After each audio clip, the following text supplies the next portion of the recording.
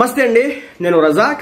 జగన్మోహన్ రెడ్డి గారికి అధికారం అనే ఒక మాయ ఒక రకమైన భ్రాంతి ఎంత భయంకరమైన సిచ్యువేషన్ క్రియేట్ చేస్తుందో ఈ రోజున స్పష్టంగా అయితే నాకైతే అర్థమవుతుంది అనమాట బేసిక్గా జగన్మోహన్ రెడ్డి గారి మోటో ఏంటంటే తాను ముఖ్యమంత్రిగా ఉండాలి. ముప్పై సంవత్సరాల పాటు ముఖ్యమంత్రిగా ఉండాలి.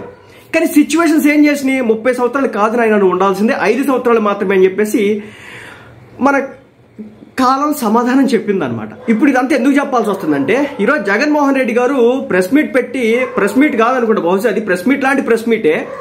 మరి అందరూ అడుగుతున్నారని చెప్పేసి ఈరోజు అలా చేస్తున్నట్టు ఉన్నారేమో నాకైతే అర్థం కాలేదు. కానీ మొత్తానికి అయితే జనం ముందుకు వచ్చినందుకు నిజంగా ఈ సందర్భంగా ఒక అభినందనలు అయితే నేను ఈ సందర్భంగా చెప్పాలనుకుంటున్నా. ఎందుకంటే ఓ రాజకీయ నాయకుడు అన్న తర్వాత ఎప్పుడు కూడా ప్రజల్లో ఉండాలి. అది జగన్మోహన్ రెడ్డి గారు గత ఐదు సంవత్సరాలు మరిచారు. ఇప్పుడు ఏంటయ్యా అంటే కథ ఎప్పుడు మైకు పట్టుకున్నా ఎక్కడికి వెళ్ళినా మొన్నటికి మొన్న ఒక కు- కుర్రోడు ఎవరు? రషీద్ జిలానీ. రషీద్ జిలానీ అనే వ్యక్తి జి- రషీద్ని చంపేసినాడు కదా. సో అక్కడికి వెళ్ళినప్పుడు కూడా వాళ్ళ అమ్మానాలతో ఈయన మాట్లాడిన మాట ఏంటంటే మనం ఉంటే ఆ పథకం ఇచ్చేవాళ్ళం ఈ పథకం అక్కడ ప్రెస్ మీట్ పెట్టి ఆ పథకం ఇవ్వలేదు ఈ పథకం ఇవ్వలేదు అమ్మఒడి ఇవ్వలేదు చేయూత ఇవ్వలేదు అది ఇవ్వలేదు ఆ బస్సులు ఫ్రీ బస్సులు అన్నారు అది చేయలేదు గ్యాస్ సిలిండర్లు ఇవ్వలేదు ఆ తర్వాత వసతి దీవెని ఇవ్వలేదు ఆ దీవెని ఇవ్వలేదు ఈ దీవెని ఇవ్వలేదు. ఏంది ఇది? జగన్మోహన్ రెడ్డి గారు ఈరోజు మళ్ళీ చెప్తున్న విషయం ఏంటంటే ఈయన అధికారంలో ఉంటే కనుక ఈ పాటికి అమ్మఒడి పడిపోయేదట చేయూత పడిపోయేదట తర్వాత విద్యా దీవెన వసతి దీవెన ఆ దీవెన ఈ దీవెన అన్ని దీవెనలు పడిపోయాయి అనేది ఈయన చెప్పేటటువంటి మాట. జగన్మోహన్ రెడ్డి గారు ఇంకా రియలైజ్ కాని విషయం ఏంటంటే ఈ రోజుకి కూడా ఆయన రియలైజ్ అవ్వట్లేదు. పథకాలు ప్రజలకి అవసరం లేదు. అనుకున్నంత స్థాయిలో ప్రజలకి పథకాలు అవసరం లేదు. ప్రజలకు కావాల్సింది డెవలప్మెంట్ ప్రజలకు కావాల్సింది రాష్ట్రం బాగు. ప్రజలకు కావాల్సింది ఆంధ్ర రాష్ట్ర రాజధాని. ప్రజలకు కావాల్సింది వైజాగ్ స్టీల్ ప్లాంటు. ప్రజలకు కావాల్సింది ఇన్నర్ రింగ్ రోడ్లు అవుటర్ రింగ్ రోడ్లు పెద్ద పెద్ద కంపెనీలు. ఉద్యోగ కల్పన ఇది ప్రజలకు కావాల్సింది. అమ్మఒడి ఇవ్వకపోయినా జనం బతుకుతారు. ఎందుకంటే రెండు వేల పంతొమ్మిదికి ముందు అమ్మఒడి ఇవ్వకపోయినా అందరి పిల్లల్ని అందరు తల్లులు చదివించినారు. సో అమ్మఒడిస్తేనే పిల్లలు బడికి వెళ్తారు ఈ కాన్సెప్ట్ వీళ్ళకి పదిహేను వేలు వీళ్ళకి పదిహేను వేలు ఈ పదిహేను వేలు ఏదో డెవలప్మెంట్లో పెడితే లేకపోతే కంపెనీలు తీసుకొచ్చే విధంగా ఒక రాజ ఒక రాజధానిని ఒక సృష్టించి అక్కడ కొన్ని కంపెనీలు తీసుకొస్తే ఆ పిల్లలు పెద్దోళ్ళు అయిన తర్వాత ఉద్యోగాలు చేసుకోవడానికి అయితే అవకాశం అయితే ఉంటుంది. ఆయనకి ఆయన ఎన్ని ఇచ్చినాడు? ఎన్ని రకాల పథకాలు ఇచ్చినాడు? ఏదో అమ్మఒడి ఇచ్చినాడు చేయూత ఇచ్చినాడు ఐరన్ చేసే వాళ్ళకి డబ్బులు ఇచ్చినాడు ఆటో వాళ్ళకి డబ్బులు ఇచ్చినాడు పెన్షన్లు తర్వాత ఫార్టీ ఫైవ్ ఇయర్స్ వాళ్ళకి ఏది ఇచ్చినాడు తర్వాత కాపు నేస్తం అని చెప్పేసి ఏదో పెట్టినాడు. ఇలా ఒకటి కాదు మత్స్యకార భరోసా అని ఏది పెట్టినాడు చేయూతలకు భరోసా ఏదని పెట్టినాడు తర్వాత బ్రాహ్మణులకు ఒక భరోసాని పెట్టినాడు తర్వాత ముస్లింలకు ఒక భరోసాని పెట్టినాడు. ఒకటి కాదు రెండు కాదు ఎంత పంచాలో అంత పంచడం మొదలెట్టినాడు పనిచేసినాడు. కానీ జనం మిమ్మల్ని యాక్సెప్ట్ చేయకపోవడానికి కారణం ఇదే. జనానికి పంపకాలు అవసరం లేదు. జగన్ జ- జనానికి ఫ్రీ బీస్ అనుకున్నంత స్థాయిలో అవసరం లేదు. ఎస్ కొంత మొత్తంలో కావాలి. ఇబ్బందుల్లో ఉన్నోళ్ళు ఉంటారు. అరాకుర కాదనట్లేదు. బట్ ప్రతి ఇంటికి కూడా డబ్బులు పంచుదాం. నేను చెప్తానండి. మెజారిటీ పీపుల్ రెండు వేల పంతొమ్మిది నుంచి ఇరవై నాలుగు మధ్యలో చాలా ఇళ్ళకి ఏదో ఒక రూపేణ ప్రభుత్వ సొమ్ము అయితే వచ్చిందనమాట ప్రభుత్వ సొమ్ము అయితే వచ్చింది. ఆ సొమ్ము తీసుకుంటారు బాగానే ఉంటుంది. కానీ రోడ్డు మీద వెళ్తుంటే రోడ్డు లేకపోతే ఐదు సంవత్సరాల పాటు పరిస్థితి ఎలా ఉంటుంది? జగన్మోహన్ రెడ్డి గారు మీరు ఈ రోజుకైనా ఆలోచించాల్సిన విషయం ఏంటంటే మీరు పథకాలు ఇచ్చిన విధంగా ఈ ప్రపంచంలో నాకు తెలిసి ఎవడు కూడా ఇవ్వాల. అన్ని పథకాలు ఇచ్చినా మీకు ప్రతిపక్ష హోదా కూడా స్థాయి కూడా లేకుండా చేసినారు జనం. అంటే రియలైజ్ అవ్వండి. వాళ్ళు మీ నుంచి ఇది కాదు కోరుకుంటుంది. ప్రభుత్వం నుంచి జనం కోరుకుంటుంది. డబ్బు ఉచిత డబ్బులు కాదు. ఉచిత డబ్బులు కాదు స్కూళ్ళను మెరుగుపరచండి. ప్రైవేటు విద్యా సంస్థలకి మించినట్టుగా స్కూల్స్ని డెవలప్ చేయండి. విద్యా ప్రమాణాలు పెంచండి. స్కూల్స్లో టీచర్స్ ఎవరైతే ఉన్నారో యుఎస్ యూకే ఫ్రాన్స్ కెనడా ఇలాంటి డెవలప్ చెందుతున్నటువంటి దేశాలు కావచ్చు డెవలప్ అయినటువంటి దేశాలు కావచ్చు. అదేవిధంగా కొన్ని దేశాలు అయితే కనుక ఆ దేశంలో దేశ ప్రధానికో దేశంలో ఉన్నటువంటి రాష్ట్రపతులకో కంటే కూడా శాలరీ అనేది టీచర్స్కి ఎక్కువ ఉంటుందంట. ఎందుకంటే ఏ దేశంలో అయితే టీచర్స్ బాగా పిల్లలకి బోధించగలుగుతారో వాళ్ళలో నైపుణ్యాలు పెంపొందించగలుగుతారో ఆ దేశం ఆటోమేటిక్గా డెవలప్ అవుతుంది మనకు కావాల్సింది అది. ఐరన్ చేసుకునే వాళ్ళకో ఆటోలు నడిపే వాళ్ళకో లేకపోతే వాళ్ళకో వీళ్ళకో కులాలు వారి చొప్పున ఇంతెంత పంచకాలు పంపుకుంటూ వెళ్తే పదిహేను వేలు. ఉదాహరణకి సంవత్సరానికి పద్దెనిమిది వేలు ఇచ్చారు. ఏం చేస్తారు ఆ పద్దెనిమిది వేలు? మహా అయితే ఆ తల్లి ఎవరైనా ఉన్నారంటే కనుక ఆ పిల్లలకి కొంతమేర ఏ ఒక బట్టలో లాంటివి ఏ కొంత తీసుకుంటారు. నాకు తెలిసి యూనిఫామ్ కూడా గవర్నమెంట్ ప్రొవైడ్ చేస్తుంది బ్యాగ్ గవర్నమెంట్ ప్రొవైడ్ చేస్తుంది బెల్ట్ గవర్నమెంట్ ప్రొవైడ్ చేస్తుంది షూస్ గవర్నమెంట్ ప్రొవైడ్ చేస్తుంది. అదేవిధంగా స్కూల్కి వెళ్ళేటటువంటి పిల్లలకి సంబంధించినటువంటి పుస్తకాలు కూడా ప్రభుత్వమే ఇస్తుంది. అదేవిధంగా మధ్యాహ్న భోజన పథకం కింద మధ్యాహ్నం పూట భోజనాన్ని కూడా ప్రభుత్వమే పెడుతుంది. ఇన్ని పెడుతున్నప్పుడు ఇంకా తల ఏళ్ళకి పదిహేను వేలు ఏళ్ళకి పద్దెనిమిది వేలు ఏళ్ళకి ఇరవై వేలు. ఎందుకంట నేను చంద్రబాబు నాయుడు గారు కూడా నేను చెప్పింది ఏంటంటే మొన్న చంద్రబాబు నాయుడు గారు మీరు ఫ్రీ బస్సులు ఇప్పుడు పెట్టకండి. కొంత టైం తీసుకోండి. మహా అయితే రెండు సంవత్సరాలు మూడు సంవత్సరాల వరకు ఆంధ్ర రాష్ట్రాన్ని డెవలప్ చేయండి. కంపెనీలు తీసుకురండి. ఆంధ్ర రాష్ట్రంలో సంపద సృష్టి మొదలైన తర్వాత ఛార్జెస్ని పది రూపాయలు ఉండే ఛార్జెస్ని మూడు రూపాయలకు ఐదు రూపాయలకు తీసుకురండి. ఆ తర్వాత మీకు ఇంకా చేయాలనిపిస్తే అప్పుడు జీరో చేయండి అని చెప్పేసి నేను మొన్న చేయడం అయితే జరిగింది.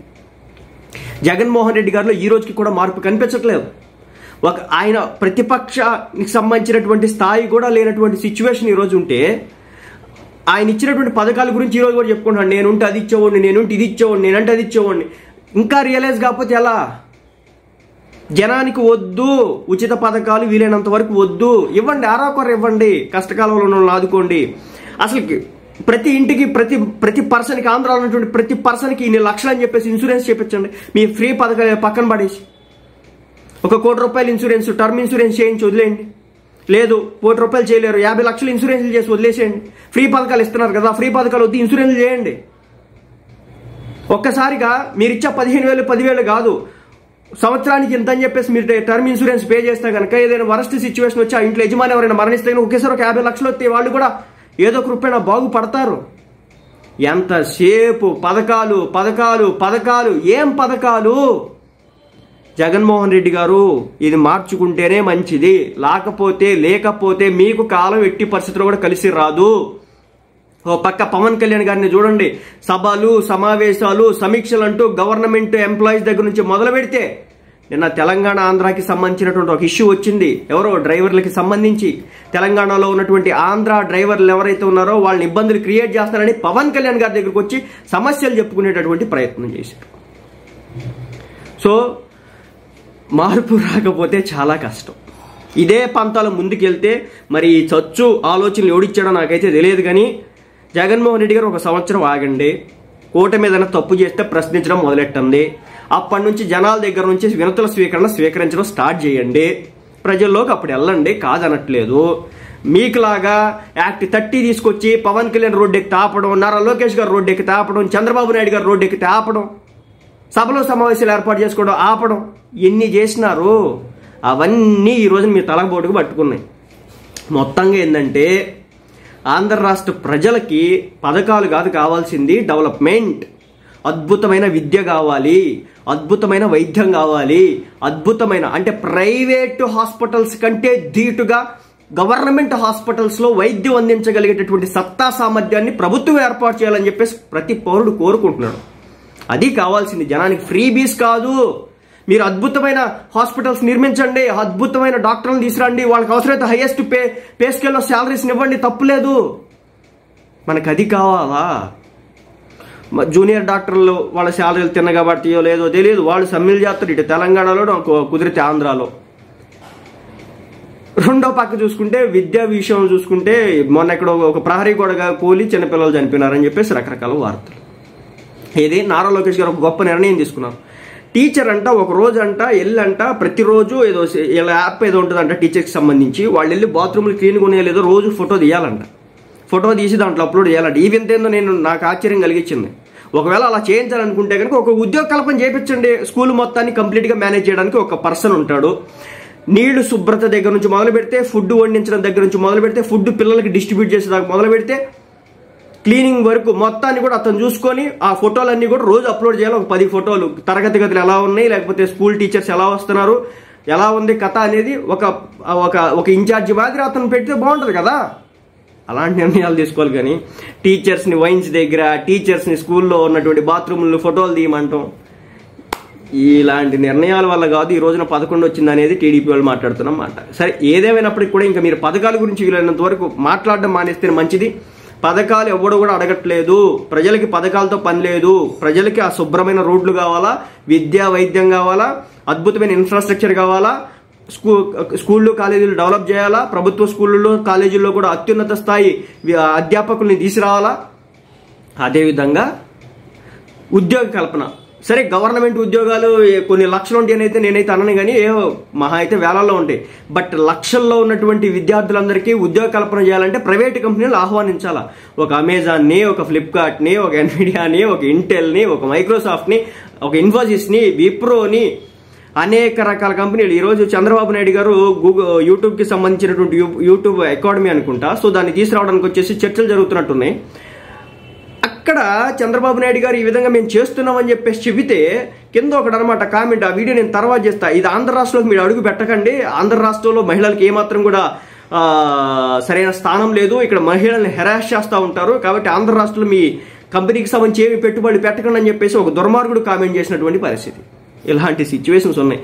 కాబట్టి దయచేసి ఈ పథకాలు గోళ్ళని పక్కన పెట్టి ఒక ఆరు నెలలు సంవత్సరం పాటు ప్రశాంతంగా ఉండి ఒక రూట్ మ్యాప్ వేసుకొని కూటమి ప్రభుత్వం తప్పు చేసే లెక్కైతే తప్పు చేసింది ఇదని చెప్పేసి ప్రజలకు కన్విన్స్ చేసుకోండి. రాజ్యాధికారం రావడానికి అయితే అవకాశం ఉంటుంది. కాదు ఇలాంటి రాజకీయం నేను చేస్తా. అధికారం పోయినటువంటి మూడో రోజే నేను పులివెందులకు పోయి వినతి పత్రాలు తీసుకుంటా. నెల రోజుల తర్వాత మళ్ళీ తాడేపల్లి దగ్గర తాడేపల్లి ప్యాలెస్లో మళ్ళీ వినతి పత్రాలు స్వీకరణ చేస్తా. ఇదేం పంచాయతీ? గత ఐదు సంవత్సరాలు మీరే ఉండి వినతి పత్రాలు తీసుకుంటే సిగ్గు సిగ్గుగా ఉంటదన్నమాట. అంటే ఈ ఐదు సంవత్సరాలు మీరు చేయలేకపోవడం కారణంగా మళ్ళీ మీ దగ్గరికి వినతులు వస్తాయని చెప్పేసి చెప్పుకోవడానికి. ఇది కూడా బూమరంగే. సో ఇలాంటి పంచాయతీలతో ముందుకెళ్ళండి. సో మరోసారి అధికారాన్ని కోల్పోండి. అది పరిస్థితి.